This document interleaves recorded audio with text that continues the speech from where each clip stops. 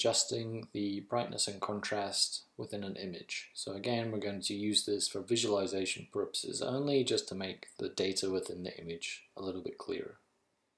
For our example, we're going to use the zeiss.lsm image.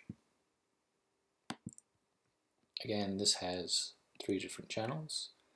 What we're going to do is convert the lookup table that's in here to something called the high-low lookup table. So in this case, that's here, high-low.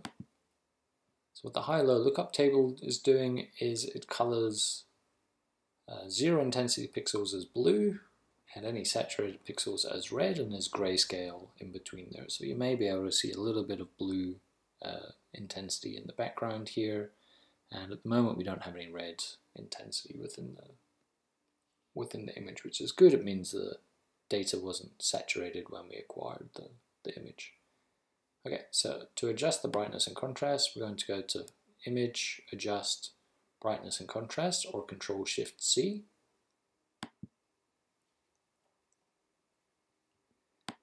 now here we've got our intensity histogram and here are our maximum and minimum values. So you see if I move the minimum value in to the right, we're going past the data, we're actually starting to clip information. Okay, so again, you want to be very careful about doing that. On the maximum side, if we decrease this down, you'll see we'll come to a point where we start getting red pixels where we're actually saturating the, the image.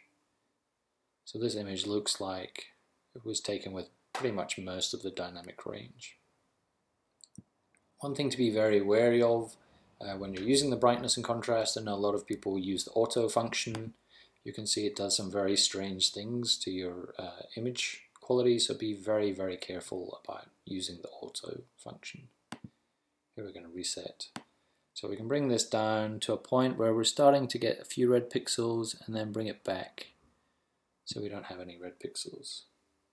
Once you hit apply, it's going to rescale between these two points, these minimum and maximum points, across your full 16-bit range, for example, here. You can apply here, and now rather than using the high-low lookup table, you can put it back into whatever um, lookup table you wanted.